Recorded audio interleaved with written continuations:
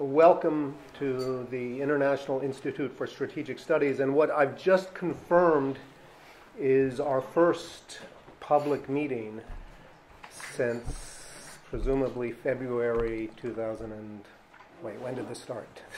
2020, is that right?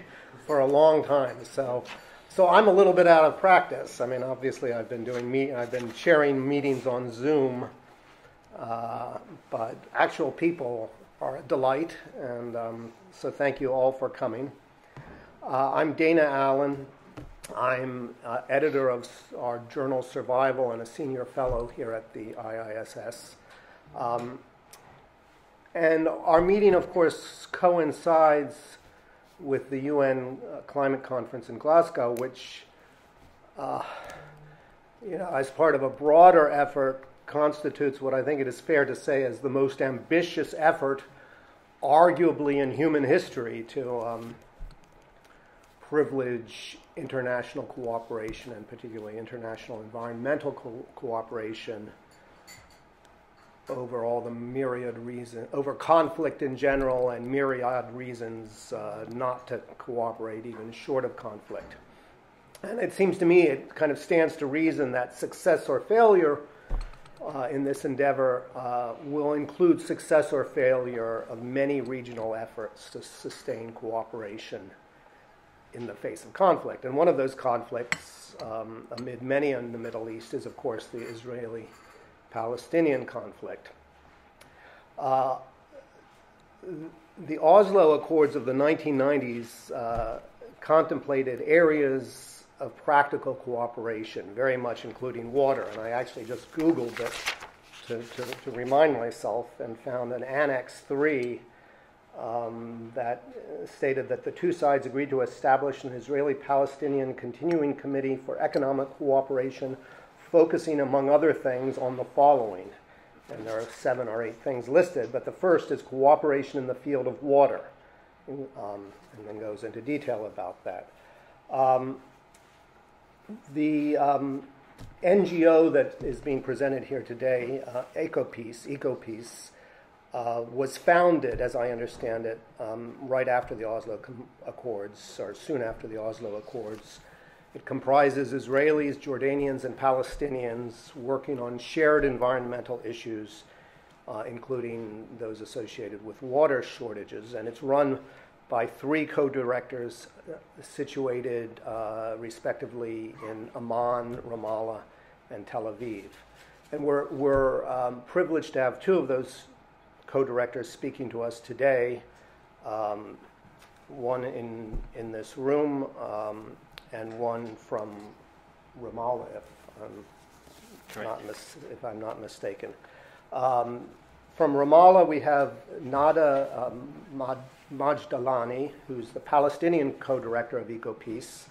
Um, she's a practitioner, researcher, consultant in the field of environmental management um, and uh, has had leading technical uh, positions in various projects in the area of infrastructure development, including water, uh, wastewater, and solid management.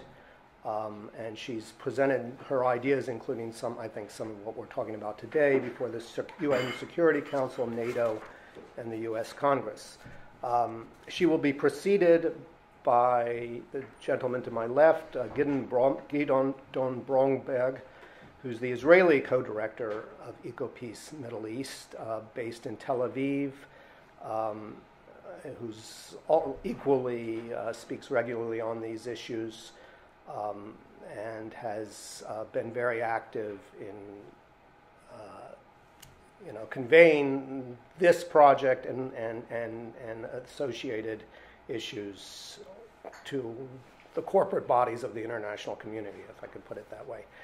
Um, and they're here to talk about something that um, was put a pun I almost didn't want to include in our invitation, but I understand it is uh, what what the project is uh, a blue New Deal.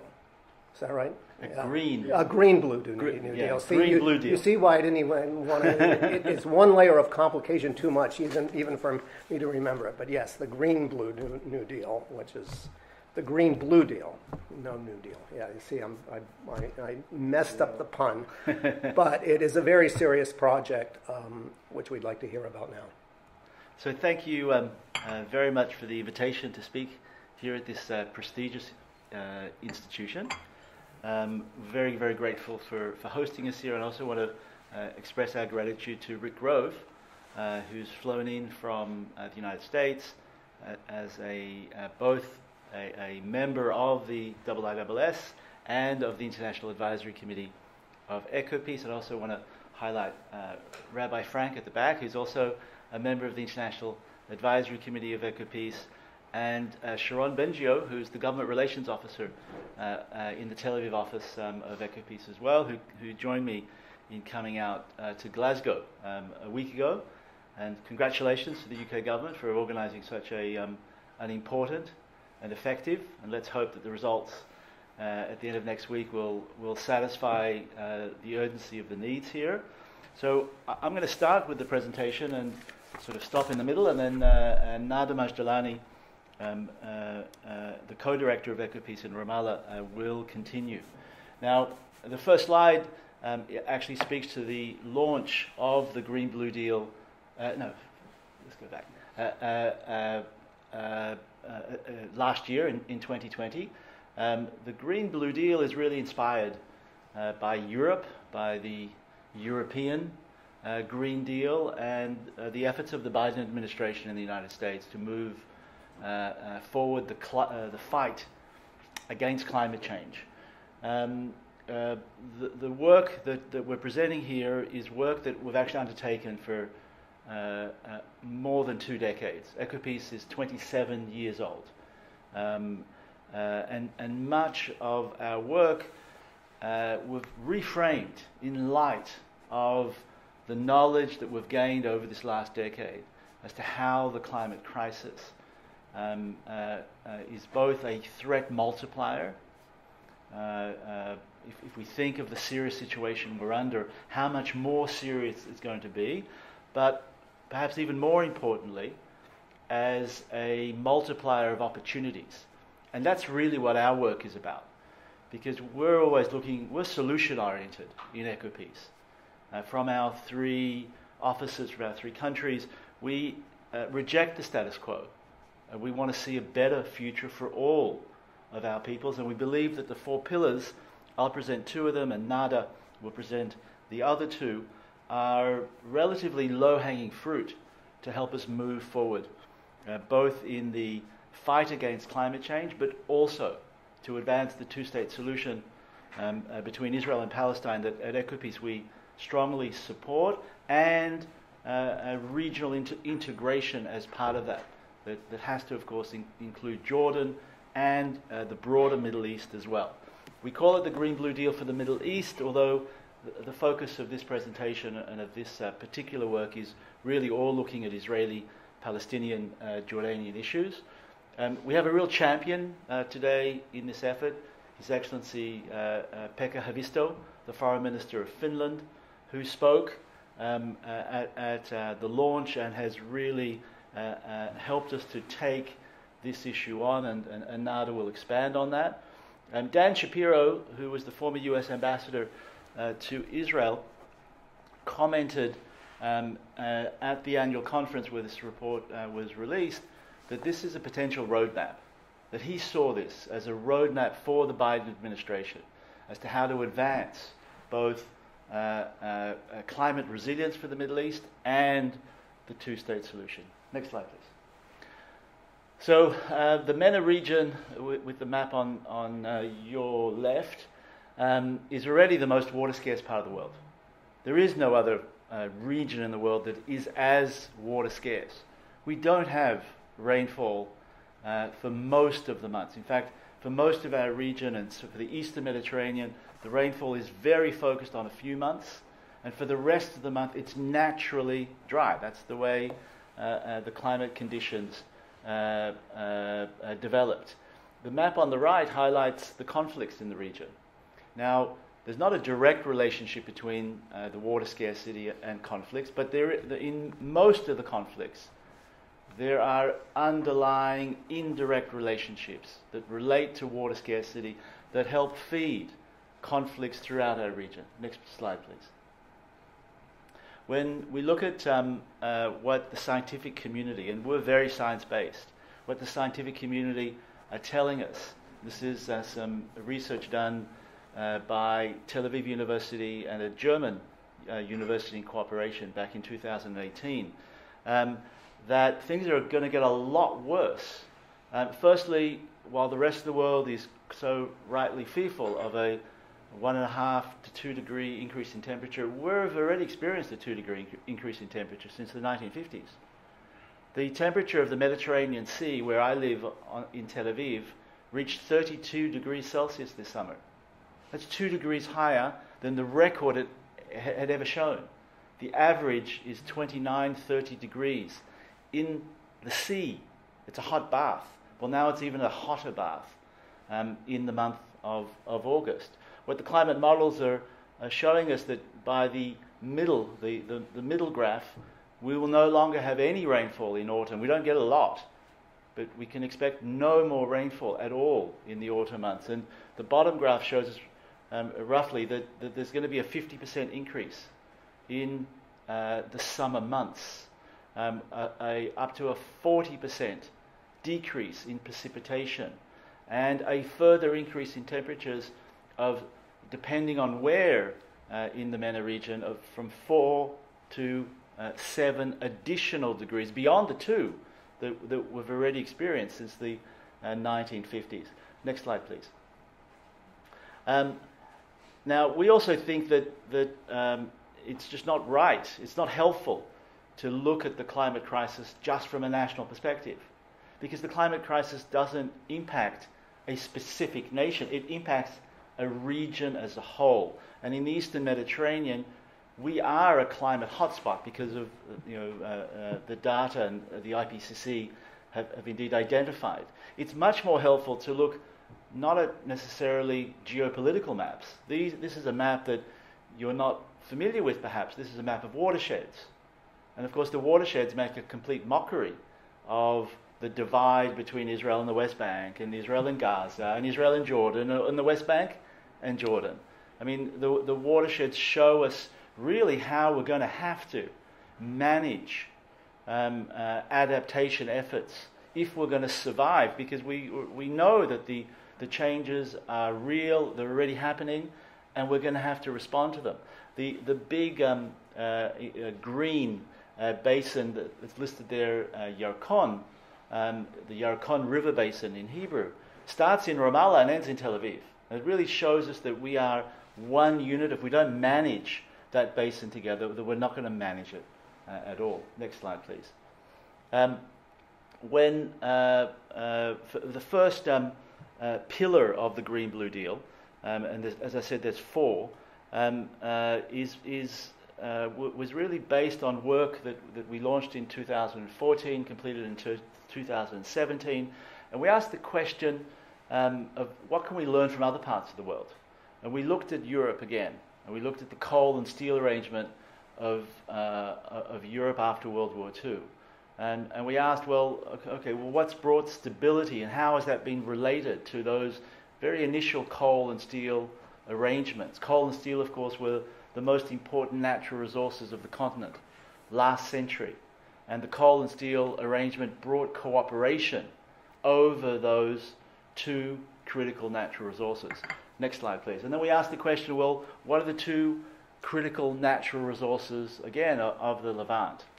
uh, that, that can help bring stability to meet the needs this century. And our research highlighted that it's all about harnessing the sun uh, through renewable energy and harnessing the sea through desalination. And perhaps we can learn from the experience of coal and steel in Europe and create healthy interdependencies around harnessing the sun and the sea. And our research highlighted that Jordan has the comparative advantage because of its vast desert areas to be producing renewable energy at scale and at prices that the rest of the region, certainly Israel and Palestine, can't compete.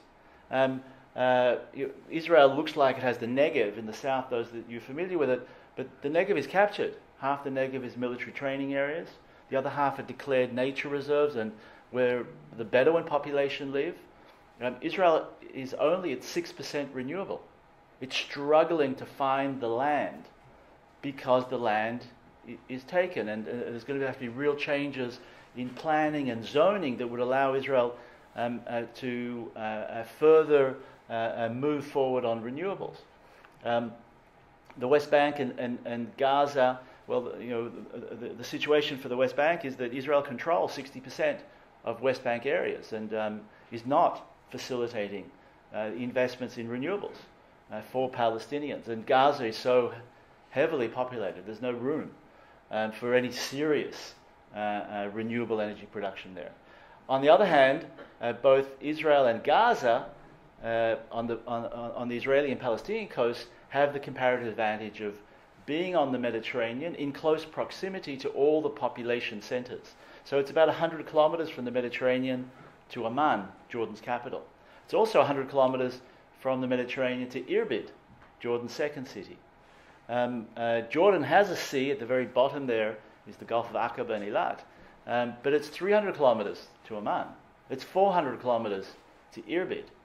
Um, and, and therefore, the cost of desalinating for Jordan um, in the south is double to three times the cost. And our study highlighted that um, if uh, uh, desalinated water, preferably produced with renewable energy, coming from Jordan um, uh, is moved uh, uh east to, um, uh, to Jordan, water in Amman can be supplied for $1.20 instead of 3 to $4 coming from the south. And in this way, um, we are proposing to create healthy interdependencies where, for the very first time, each side has something to sell and each side has something to buy. Let's go to the next slide, please.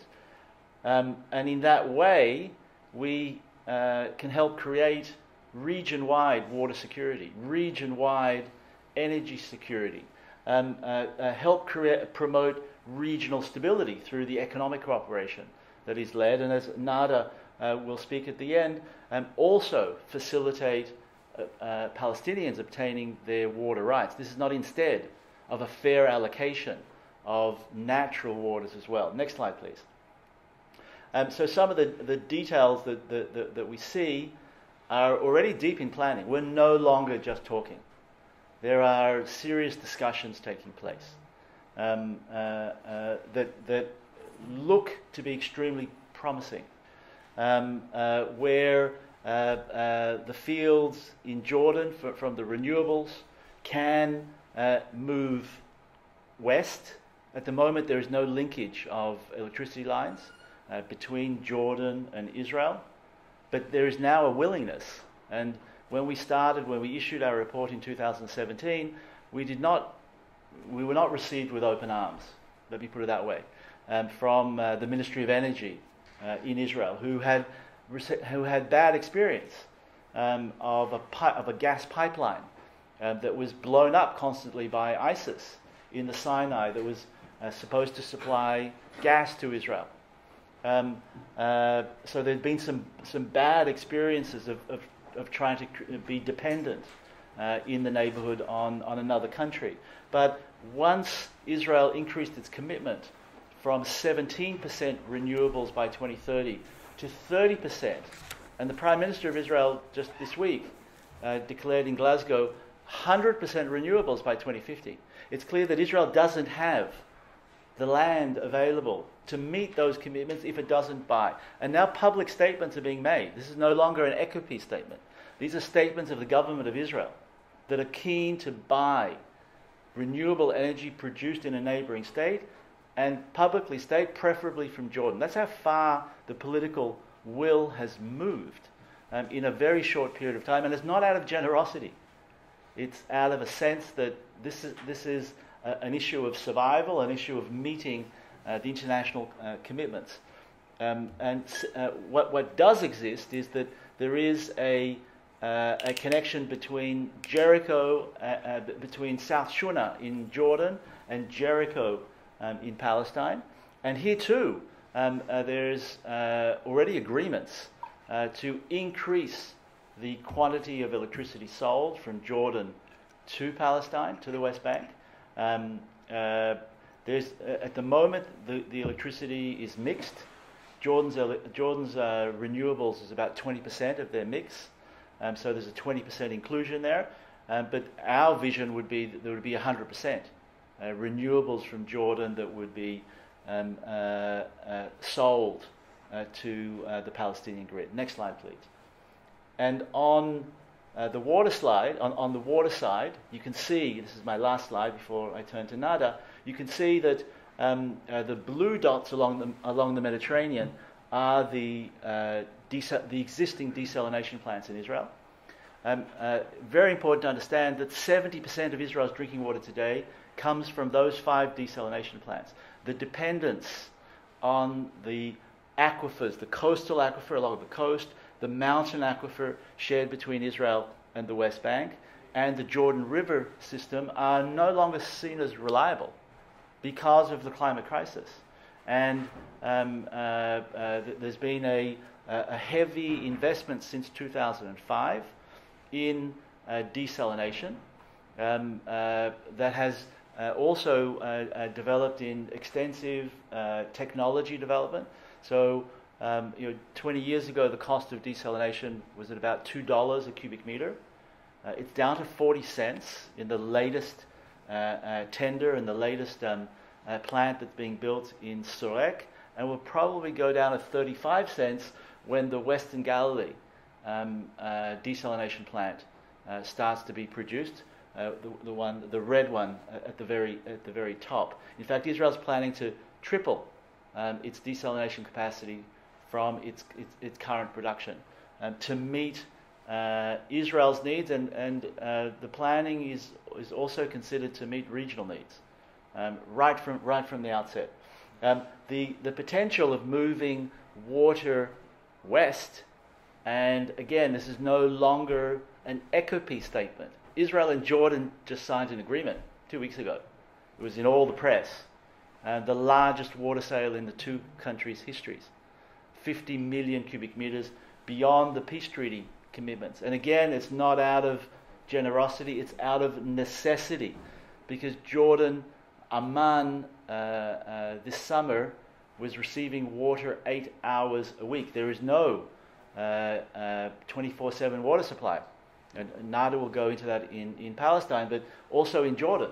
And without that, that uh, purchase of an additional 50 million cubic meters of water, the Minister of Water of Jordan uh, had, told, had warned the public that water supply would be cut to just once every two weeks.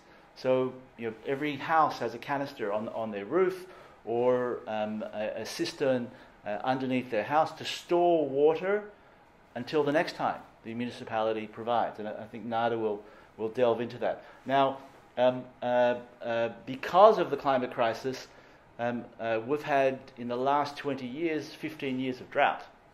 And, and during that drought period, um, the Sea of Galilee, uh, uh, or the Kinneret in Hebrew to the north there, um, reached the historical low where the future of the sea as a freshwater lake uh, was at risk. And because of that experience, uh, the Water Authority uh, of Israel decided to invest a billion shekels to reverse the national water carrier. That is the pipeline that comes out of the Sea of Galilee, um, uh, comes towards Tel Aviv, and then splits to two pipelines that, that bring water down uh, to the Negev. Um, in its heyday, that, that uh, system brought between 350 to 500 million cubic meters of water. Um, uh, today, Israel is reversing the system to bring desalinated water to the Sea of Galilee. It's the first that we know of, of climate adaptation, of desalinating in order to save a lake, and this is just not any lake, perhaps, perhaps the most famous lake on, on the planet, or one of them, um, and critical as, as, a, as a source of, um, of, of, at least water security. Um, but that, that now presents the opportunity to really move water east because there is a pipeline, and you can see it on the map, a pipeline connecting the Sea of Galilee with the King Abdullah Canal that runs parallel to the Sea of to the River Jordan. That's a cement canal. That's how water currently is being supplied, and therefore the second aspect of the water uh, of the of the green blue deal that we're proposing is to stop using pipes and canals to move water, but to start rehabilitating, taking the sewage out uh, that's currently flowing in, in, in, the Sea of Galilee. Uh, sorry, in, in the, in the uh, lower stretch of the River Jordan from the Sea of Galilee to the Dead Sea, and moving the fresh water or the desalinated water mixed with Sea of Galilee water as a means to also rehabilitate the River Jordan, um, another um, uh, uh, river with a reputation larger than, uh, than, than, the quantity of water that, uh, that would naturally flow. Um, and that enables us to meet a second major objective uh, of, of climate resilience, would be to bring back uh, the river biodiversity, 50% biodiversity loss. Um, because of the demise of the river, we can now bring that back and um, generate uh, new jobs. Um, with a dramatic reduction in precipitation, we're going to need to you know, re-evaluate our economies because economies, and particularly the Jordan Valley, based on agriculture, um, are going to struggle where that agriculture is based on rainfall. So, um, rehabilitating the River Jordan is the, is the potential to introduce uh, uh, new economic opportunities, particularly around tourism. There's about a million Christian pilgrims that come every year to be baptized. Only a million. This is the third holiest site uh, to Christianity in the region. And only a million Christians uh, uh, come each year. And it's mostly because it's not an attractive site. In fact, it's a little bit of a health hazard to be baptized in the river. Um, it, it's, a, uh, it's a shame. It's, it, it's, a, it's a real shame on the names of our, uh, of our countries in the region to have uh, led to such a demise. And now we have the potential um, to rehabilitate the River Jordan. So I've gone way too too long, and let me uh, turn it on to uh, turn uh, to Nada Majdalani to continue from the next slide, please. Thanks, Gidon. Um, uh, and, and building up on what you just said, uh, there is great opportunity today to not only restore the system of the River Jordan um, and to improve the water supply for communities across the border, um, but there's really here a uh, an opportunity for uh, in, improving uh, the the political tension um, and and to deal with the water issue as a low-hanging fruit uh, and as, as, a trust-building measure between the the parties in conflict in conflict, um, and and particularly because um, water issues.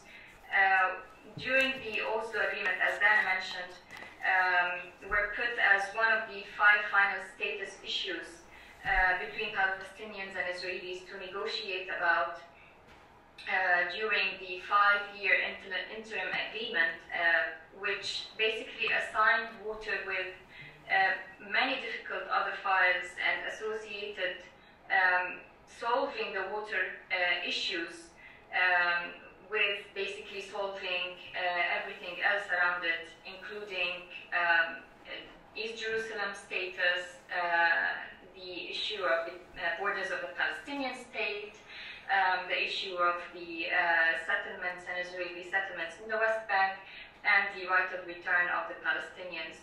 Um, all very difficult files, and indeed they uh, are interconnected with um, with prejudice, value, uh, uh, political uh, agendas, etc. Um, however, when we look at the water issues um, 25 years ago, they only produced winners and losers because what was negotiated about is basically um, natural water resources um, that are only available either through the River Jordan um, or the shared water aquifers. And as we can see from this, from the screen and from the um, map, uh, there are several um, underground water aquifers uh, which are being shared between uh, Palestine and Israel and as well as Palestine and Um, and, and the main uh, aquifer that we're speaking about is the mountain aquifer, of which um, uh, most of it is located uh, in, uh, in the Palestinian uh, West Bank areas, but um, also uh, a lot of it is being, um, or 85% of it is being utilized by Israel. Uh, so there's uh, definitely a great uh, dilemma in terms of the allocation of water resources, um, including also, for example, the eastern aquifer, of which um, is somehow entirely located uh, in, uh, in the Jordan Valley, um, and of which um, also it yields around 80 million cubic meters um, per year, and um, uh, according to the Oslo Accords, it was supposed to 40% um, of that is uh, utilized, um, or 50% of that is uh, to be utilized by Palestinians, and the other 50% that is utilized by uh, by Israel and Israeli settlements in the area is to be um, uh, transferred to the uh, to the Palestinian communities. Um, so, however, during this past uh, 25 years, um, the water issue remained the same. Uh, the water quantities that have been allocated uh, during Oslo um, for the Palestinians of about 200 million cubic meters have not been, fully attained um, and, and uh, taken by the Palestinians uh, to be utilized for communities. Um, and instead, at the moment, uh, there's approximately 80 million cubic meters of water plus uh, sometimes, depending on the season, being purchased uh, from the Israeli water uh, company to basically supply uh, communities in the West Bank and Gaza. Um, and therefore, for, for Palestinians, the water issue is very much connected to sovereignty and the ability to build a future Palestinian independent state. It is one of the key elements um, for any state to be able to sustain itself uh, in terms of public health and in terms of economic growth. And uh, what was basically assigned as quantities 25 years ago is not corresponding to the current um, demographic growth of population, uh, but also the economic growth aspirations, uh, particularly for um, the agricultural sector in Palestine and uh, the industrial sector as well. Um, for example, um, in terms of economy uh, and, and, as an agricultural sector, uh, 25 years ago, the um, uh, percentage of, of uh, agricultural contribution to the Palestinian GDP was approximately 14%. Um, and today, today, it only corresponds to 3%, um, which shows how much the farmers' community and the agricultural sector is actually suffering um, from water shortages in the area, uh, both from climate change and because of political reasons. Um, uh, what we are proposing as EcoPeace uh, for, uh, for future consideration and for current consideration is basically to prioritize negotiating about um, uh, reallocating water, uh, water natural water resources between Palestinians and Israelis to fulfill a fair share of water for the Palestinian communities um, and some sort of uh, independence and, and, sovereignty over these water resources, but also to contribute to another uh, approach uh, which is different from the Joint Water Committee uh, that is very much now governed by, uh, um, by the, the, veto of, um, of yes or no to either digging new wells or to developing uh, existing wells. Um, and, and, therefore, we are looking into a more fair approach in terms of managing shared water resources, a more fair approach in terms of um, sharing information of the status of water aquifer and the pumping rates from each site in order to uh, manage in a healthy way um, the water available uh, from, from natural resources. And this is basically a low-hanging fruit and it's doable because of um, the increase of the water quantity and the water pie, which Gidon has already mentioned, that is going to be achieved by increased desalination uh, on the Israeli side and also on the Palestinian side from the shores of Gaza which would guarantee that the Palestinians would get their water share and water rights without actually affecting um, the quantities of water that are um, uh, that are available to the to the Israeli citizens. Um, we do recognize how much sensitive this issue is. Um, we do recognize that, at least for the Palestinian side, maybe going to speak later on the Israeli perspective, um, that the connectedness of water with the other issues, um, with the, the, issue of refugees or borders, is also very much connected to the political status. Uh, we do recognize that um, the borders of the Palestinian state constitute of parts of the River Jordan, uh, the Dead Sea, um, water quantities uh, for potential refugees who will come back needs to be accounted for as well. Um, the status of East Jerusalem, who will supply water for these communities. Um, we do understand the complexities, but we do also see the practicality and the sides uh, and the practical side of achieving uh, some sort of agreement and, um, and uh, working points towards achieving an agreement on water issues um, as a trust building measure for the rest of the more complicated issues. Um, next slide, please. And why is this important? Uh, also, Gidon has, has mentioned water needs to be in every home uh, and uh, available for, for communities to continue their daily lives um, many communities in the south of the West Bank receive uh, water uh, once every two or three months during the summer season, um, during the drought season. Uh, they um, uh, they receive approximately 23 liters per capita per day, which is way below the um, average uh, standards for the World Health Organization. Um, the average per capita in the West Bank and Gaza is approximately 60 to 70, which is, uh, again, not sufficient enough. Um, and uh, basically, what communities tend to do is they buy water by tankers and private vendors, and this is um, extremely expensive. Um, it could cost uh, families double their uh, income and salary uh, of the household to basically uh, purchase water uh, uh, for, for, for the families of an average of five to six people in the homes. It could cost up to um, $200 sometimes per month to basically supply water to these families. Um, so uh, the situation is really dire, and it goes uh, similarly uh, with uh, with Jordan, as Gidon has mentioned. Um, and therefore, it is very much necessary to address this issue as an immediate uh, need and response. Um, and and as I mentioned, it's not only for the political gain, but to basically address the immediate needs of the communities. Next slide, please.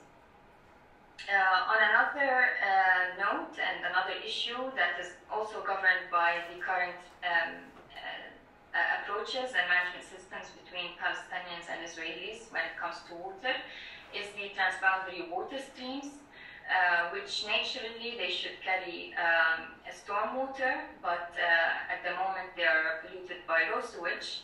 Uh, mostly from Palestinian communities towards the Green Line uh, where it crosses the border towards Israel um, and it gets treated on the Israeli side. Uh, and the cost of treatment and construction of treatment plants in Israel is basically deducted from the Palestinian taxes.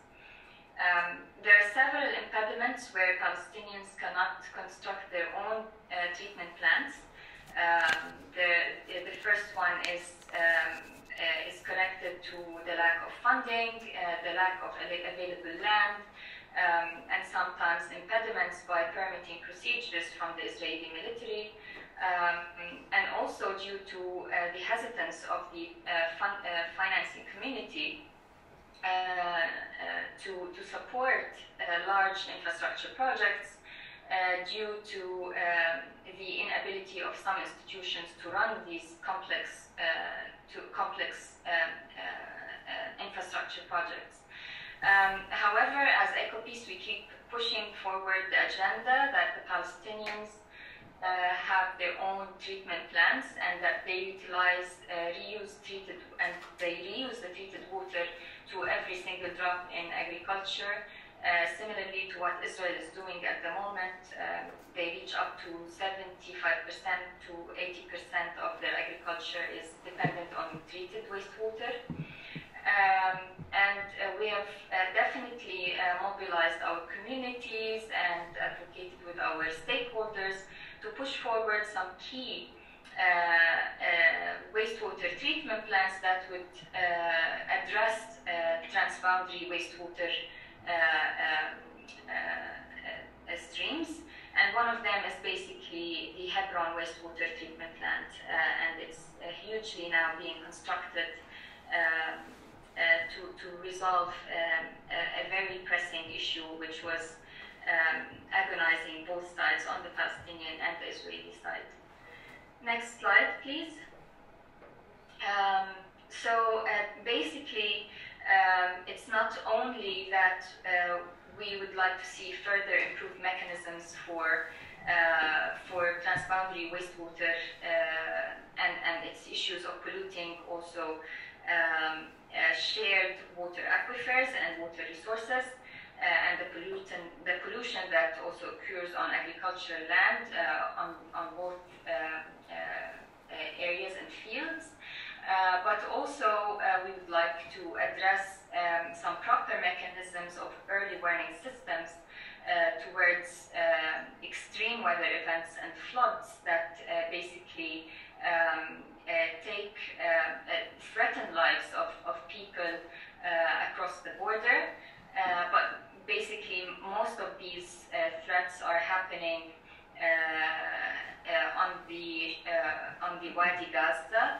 Um, and what we're looking forward is to organize and to um, uh, facilitate communication and data sharing um, to basically save lives uh, just because the just before the catastrophe happens. Next slide, please.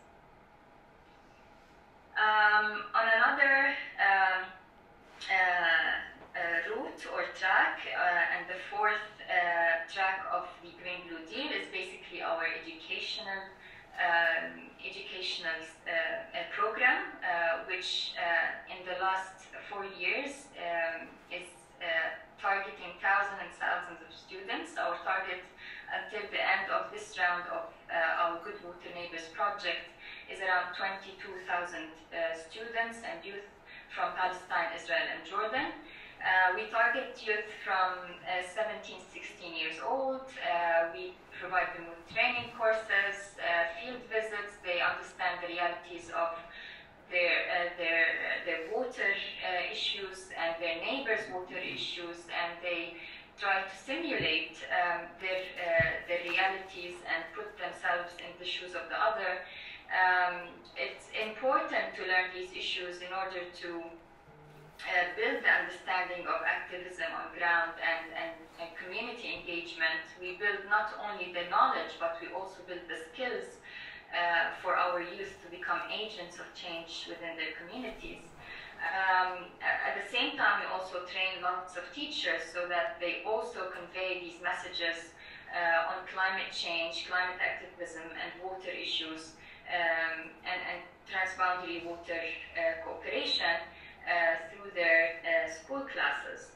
Um, on the other hand, we also have uh, the Young Professionals program where we teach also um, uh, young professionals on water diplomacy, uh, green social entrepreneurship, and we encourage them to come up with um, joint projects and we try to advance them for further funding.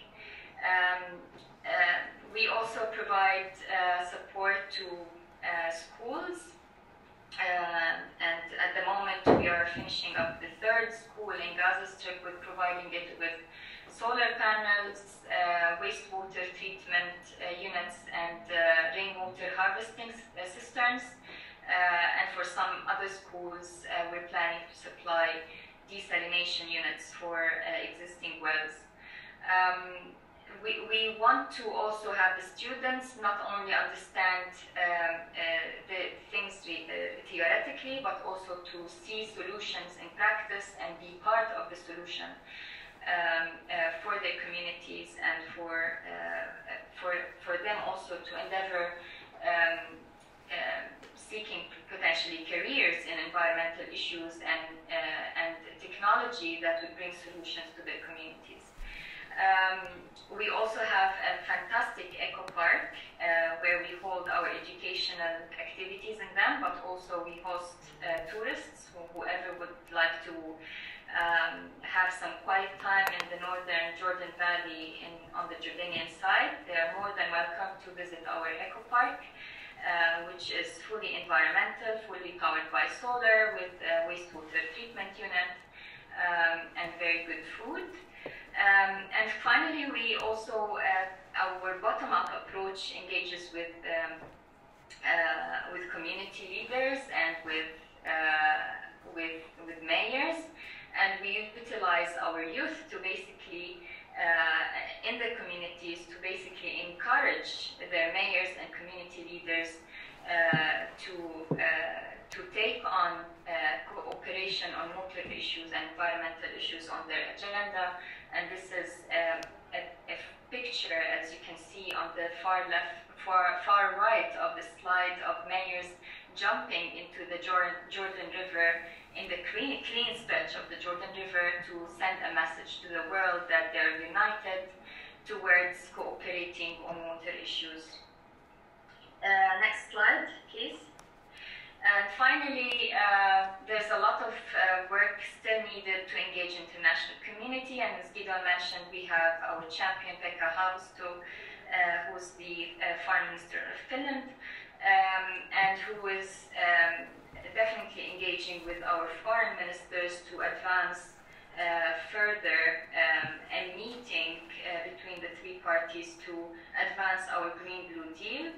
Uh, we've been engaging with several um, embassies and foreign offices and um, foreign ministries across Europe uh, to uh, basically uh, take on some of the uh, elements of the Green Blue Deal, either for advocacy support or even for financial support.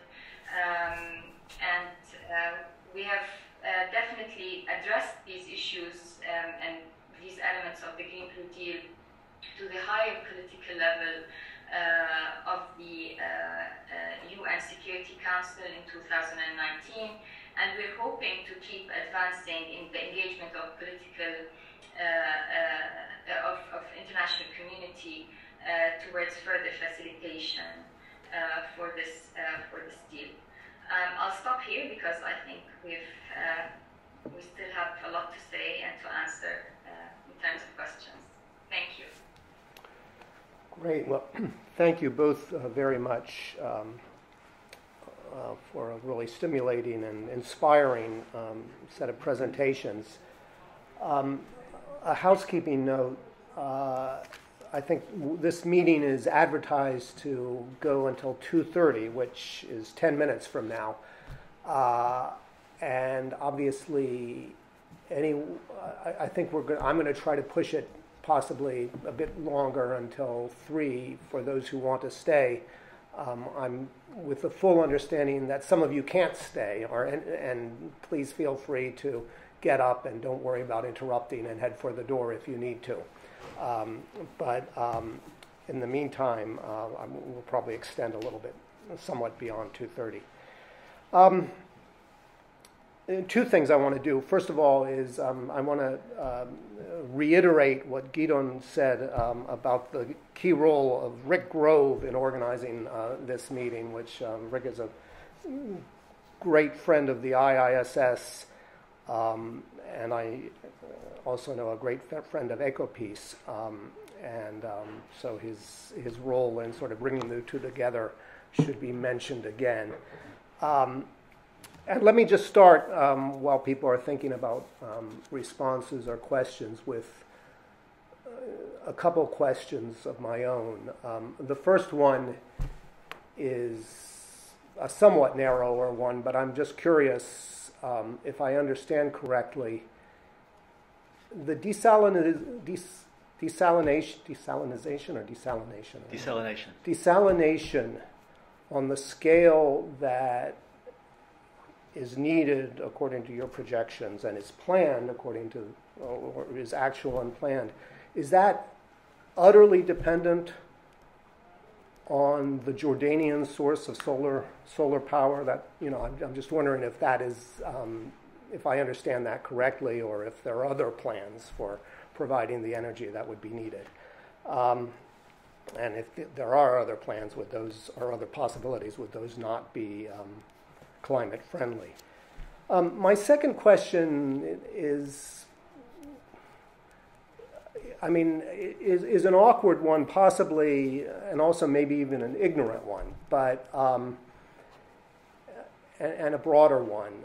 Um, and I, I say awkward not because I'm afraid to ask awkward questions, but because it's obvious that the scale of this human and you know social and environmental problem involving water and the future of the climate in the region is just huge and is an issue in its own right, leaving aside politics.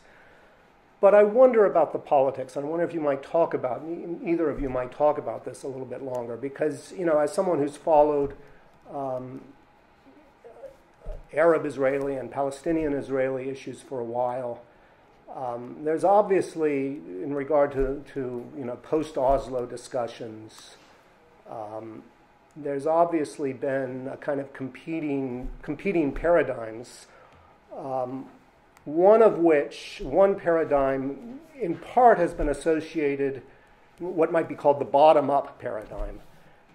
And I could have this wrong, but in my mind, it's sometimes associated with uh, figures like the Netanyahu government. In other words, you know, as opposed to the idea that you don't you concentrate on um, practical uh, bottom-up issues such as yours um, and put off this pesky problem of, of political self-determination.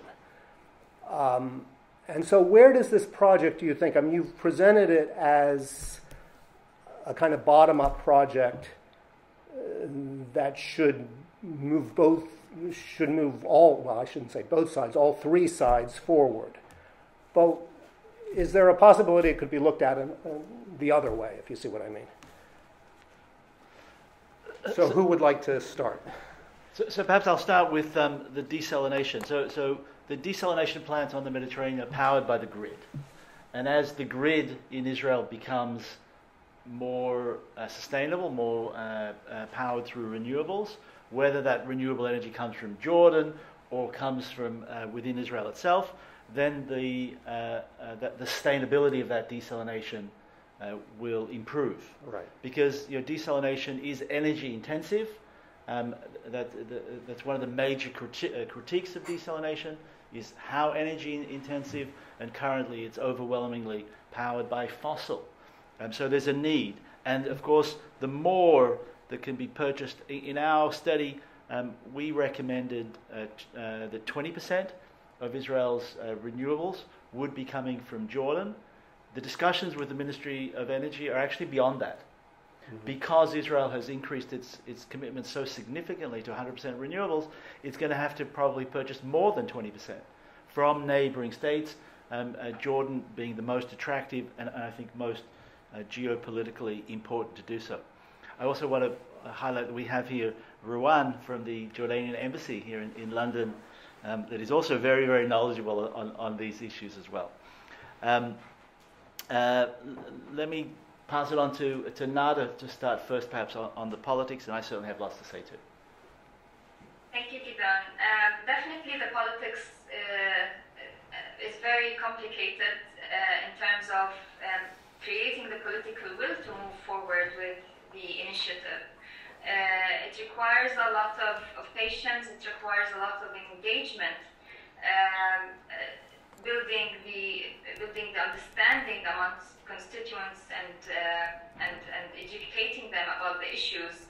Uh, it takes uh, a lot of effort and it takes a lot of patience. Uh, it needs to address um, also the stereotypes that are and, and the tags of similar organizations that work across the border.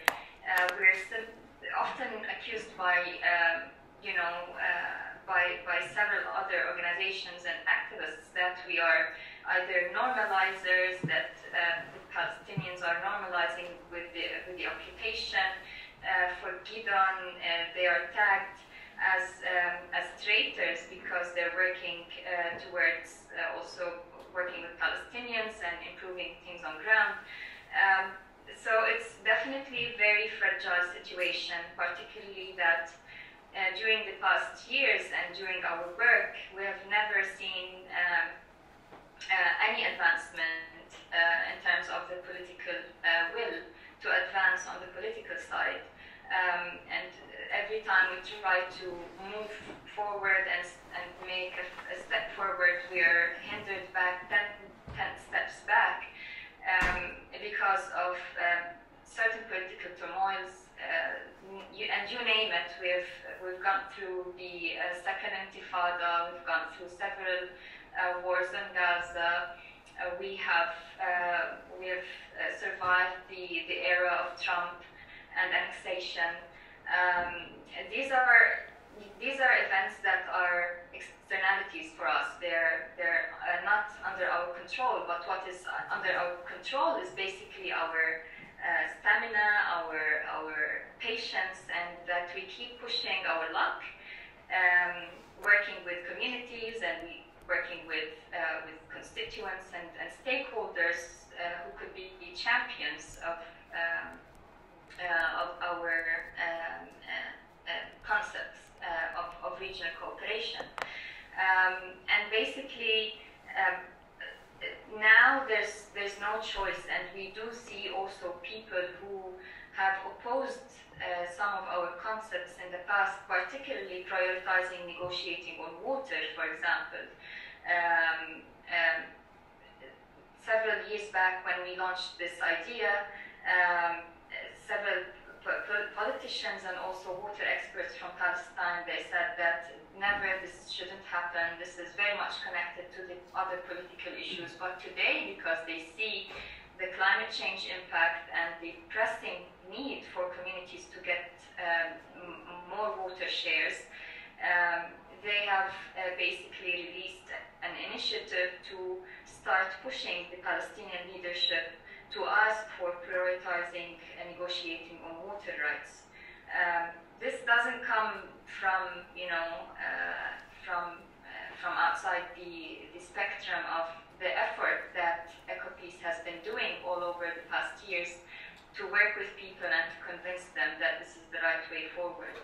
Um, so, as I mentioned, very fragile situation, but we keep um, trying our best to, uh, to promote what we stand for. Thank you. Good. You wanted to add? I, I just wanted to add, on, really, on, on, a little bit of what, what Nada said, is that for 27 years, the all or nothing paradigm has moved us to nothing. Because if we condition moving forward on everything, and of course Nada and I and everyone in EcoPeace wants to move forward on everything. We wanted to move forward on everything 27 years ago, but we haven't. I mean, our governments haven't been able to you know, uh, whether we like it or not. And, and, and therefore, we would argue that it's no wonder that the public of Israel, the public of Palestine, have no faith. Because their experience for the last 27 years is that nothing has moved forward. Well, nothing can move forward if, if the paradigm is that everything must move forward. So, given 27 years of failure to move forward on everything, we think that we're absolutely justified to take that risk that comes with risk. And we recognize that risk. But um, it is justified to move forward on what looks like the low hanging fruit, not as a favor, as Nada said, to improve the reality on the ground, to show the public on both sides, on all sides. And Jordan also here is very important, to show the public on, in Jordan as well that there is a partner for peace, that we can improve the reality, we can um, uh, uh, see things move forward on one issue, and if we can move forward on one issue, then what excuse do our governments have not to move forward on the other issues as well? Thank you. Um, comments, questions from the floor? Well, when, when you say one issue, you're talking water or we're talking about the environment? Well, well partic- we're, a lot of we're particularly focused on, on, on water as, the, as a final status issue. So, you know, uh, uh, by moving forward on the advancing Palestinian water rights, which is one of the five final status issues, we're moving forward on, we're, we're calling on the governments to move on uh, forward on something so concrete. And that's the potential game changer. Yes. And yeah, thank you. Um, Gidon. Um, and Nada. So since 2017, this has really gained traction. And do you see, I suppose this is my challenge from within the advisory committee, a future role for EcoPeace in two key issues. One is challenging uh, the owners and operators of the systems to critically evaluate the environmental results of desal on this scale. That is, raised water temperatures and the chemistry of what's left behind. And two, this is um, Rachel Havrelock's uh, argument in her latest book, um, is that the ownership and governance of the companies running this stuff, rather than being, say, you know, big monopolies, for example, how, how can EcoPeace challenge the situation so that there are bodies really serving the interests of the public long term in terms of stability rather than short term profits and you know, I suppose that's the Marxist argument. You know, the, the short-term interests of the investors involved. I, am happy to take um, to take that, given the Israeli experience on desalination. Um, so, although the uh, uh, the desalination will be improved if it's solar, uh, the, I think what Frank is referring to is the brine um, the extra salts that are being dumped into the Mediterranean. And if, if, we're talking about one desalination plant, so be it. But we're talking about many desalination plants, not only in Israel, Cyprus, Greece, Turkey, Egypt, Gaza, clearly, uh, are all discussing large desalination facilities because the region is running out of water, much due to climate change. Um, uh, that remains an unanswered issue and there needs to be a lot more investment to see how those salts, rather than being dumped back into the Mediterranean, could be used as something useful, uh, perhaps for building. Um, uh, and, and here, you know, European, Middle East uh, uh research could take place to see how um, uh, that could come, that could come, take place. Um, I think the other um, important feature not only of the desalination but of the renewables. So, desalination on the Mediterranean, renewables in Jordan, they're all private sector led. Now, we actually think that's a good thing because if we rely on the governments to, uh, to raise the funds or on the international community, um, then we're beggars. And we don't, think we, we don't think that we should stay there. I mean, there is less and less money available from the international community, from the generosity of the international community. The beauty of both the desalination and the solar is that they are profitable today. In fact, you know, uh, producing the renewables in Jordan is some of the cheapest in the world, and there's lots of room. Our study shows that if Jordan purchases, if Jordan sells these quantities of uh, uh, renewables, its economy is increased by three to four percent, becomes the single largest industry. And Jordan turns into this major exporter, um, job creation, and, and so forth. Now, the, the challenge of it being private sector led, of course, is regulation. And the regulation has to be in place, the governance needs to be in place. I can say that from the 20 years, uh, since 2005, since desalination has, te- has been uh, uh, built in Israel, the regulation, the governance is extremely strong and, and uh, I think we are seeing the results that we need. It doesn't mean that, uh, that we mustn't stay alert But the challenge is where the governance is weak. And you know, uh, you know, th- there needs to be support of the international community to make sure that governance will be strong on the solar side in Jordan, on the desalination side in Palestine, so that the public interest always wins out.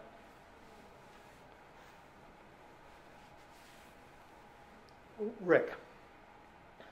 So I'd like to pick up on, on something that you said, but, but, but come back to something that Nada said first.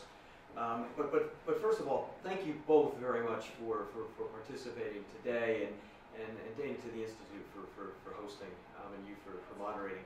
Um, Nada, you spoke eloquently about the courage that it has taken you, your colleagues, Gidon and his colleagues, and your, your co-Jordanian uh, director, Yana, and her colleagues in Amman in the face of, of criticism from many in, um, in, in, in your, your jurisdictions.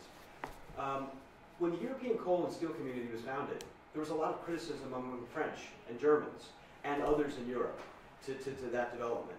And it took a lot of courage for those leaders uh, to, uh, to form the European Coal and Steel Community. And it's taken a number of steps in the European project to get where Europe is today. Can the Green Blue Deal be done in an incremental way? Um, interdependence, I know, is one of your goals. And those of us who care about peace and security recognize that interdependence will promote peace and security. But it's also a threat, and, and, it's, and, it's, and it's frightening to people. Can the project be done incrementally, um, or does it require a certain amount of scale initially? So that was the first of a two-part question. The second question is financing, and Gidon, you talked about it, and you, you alluded to this being self-financing. That, that I, I don't mean self-financing, but I mean that it, it doesn't require donor assistance, that this is not going to be a, a charitable project, but rather a profitable project for those who invest. How much is required? Um, what, what, are we talking about in, in, in dollar terms? Um, at least for the first stage, and then ultimately to, to fulfill the entire ambition of the project. And where do you envision that, that money coming from? Uh, Nada, why don't you start? I'll, yeah, I'll, I'll take the first question, um, and, and, you can continue, Gidon.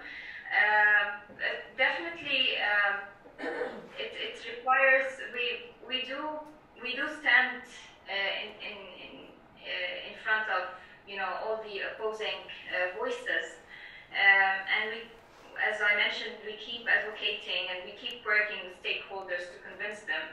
Um, it took uh, definitely uh, courageous leaders to strike the deal of the coal and steel agreement. Uh, it just required two sane people to sit on the table and um, and strike this deal and move it forward.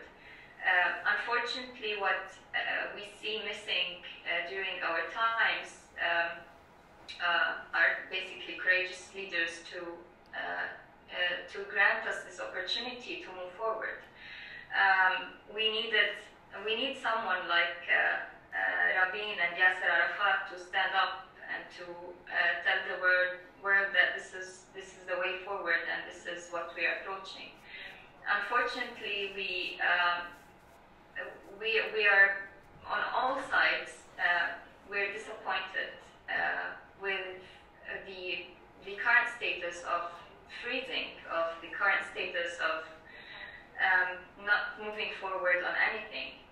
Um, and, and we believe that the only way to move forward and to encourage our leaders is not only by, by talking and by speaking to them and making all these roundtable discussions and, and all these conferences, but basically by doing things on ground to showcase the feasibility of the issue and to showcase uh, that um, it, does really have um, political, environmental, and socio-economic sense what we're trying to propose and what we're trying to promote, uh, and particularly the water energy nexus. Um, we need to build on existing uh, um, opportunities and existing realities. Uh, today, today there's a Jordanian-Israeli peace agreement, which could achieve wonders in terms of exchanging uh, uh, water and energy. Uh, today there's um, an ongoing cooperation between the Palestinian and the Jordanian government in terms of importing energy from Jordan.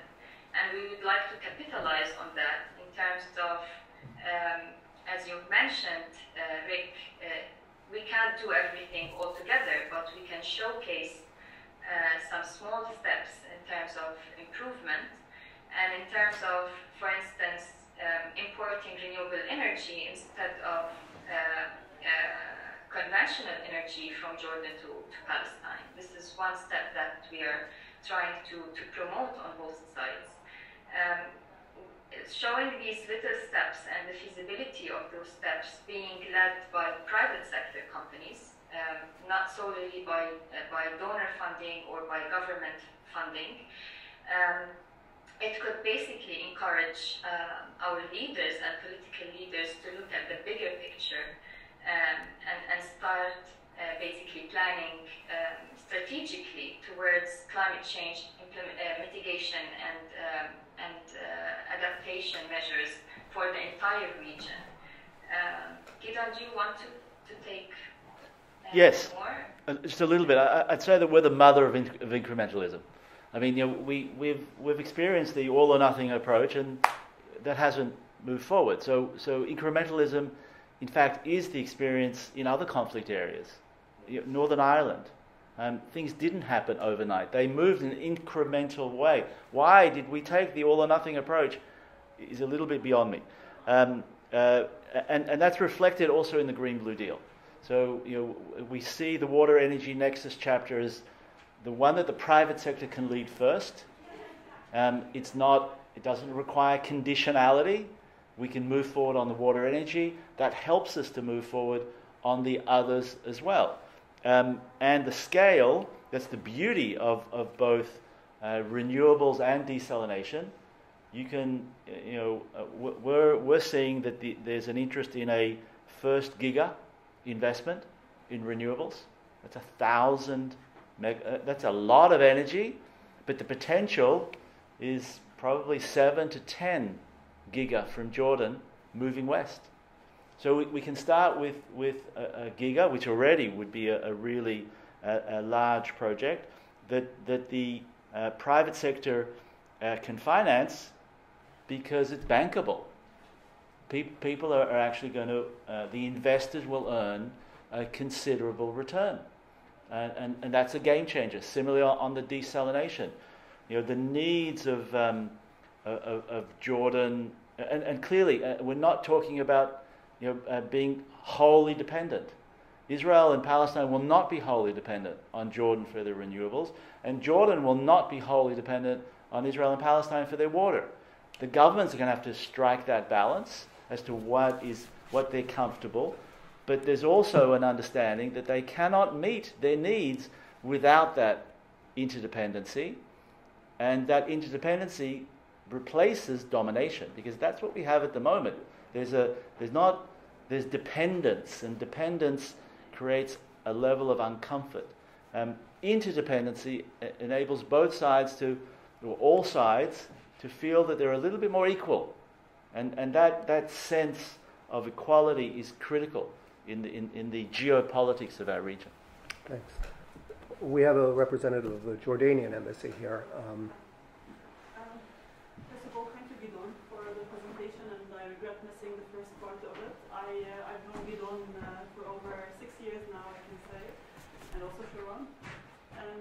I was a diplomat in, uh, in Tel Aviv before starting here at the embassy in London, and I uh, heard the tour with EcoPeace on both sides, the Jordanian side and, and, and the Israeli side. And I can I saw, we have to act fast. There is also, um, I don't know if Gidon did touch upon this, there is also a, popul- a population growth in the region. We are one of the most fertile uh, regions and, and, and, when it comes to population growth. And the, most of uh, our population is made up of youth. So uh, if we don't act now in, in, a matter of 10 years or so, I think it, the situation will worsen in, in, our region in terms of water scarcity. Jordan is number two worldwide, the most water, water the most scarce uh, country in terms of uh, uh, watershed per capita. As Gidon mentioned, we get water. That's true. We get water once a week, uh, and, and past in the past summer we got it uh, once every two weeks because of the drought. So uh, yeah, I hope uh, this initiative moves forward, and uh, I, I think there is a glimpse of hope. Um, uh, the Israeli government, as, as, mentioned, as uh, Gidon mentioned, has provided Jordan with the biggest uh, deal, the 50 million cubic meter deal. That's uh, the first time in, in, since we, I think we signed the peace agreement, if I'm not mistaken. Absolutely. Um, so yeah, that's it. So I wish you all the best, guys. And uh, from what I've seen, again, I, I need to reiterate this: we have to act first. We have to do something about the environment. It, it, it bypasses all borders and all politics. Thank you. Um, well, we're 15 minutes over time, but I would take one more comment or question if anybody has one.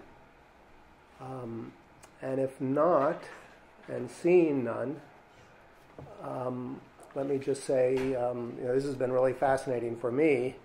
Uh, I think it's. I'm, I'm, pleased that this was this was a somewhat more practical and given all the you know you know climactic and political um, uh, con- uh, threats that we face. Uh, in, a, in, a, in, a, in a funny way, one of the more hopeful meetings I've, I've, I've um, chaired, so I'm, I'm, i hope I'm not exaggerating the hopefulness, but um, certainly very inspiring. Uh, and so I'm glad it was my first meeting post pandemic to chair in person, and I want to thank all of you for, for participating and just ask you to join me in thanking our two speakers.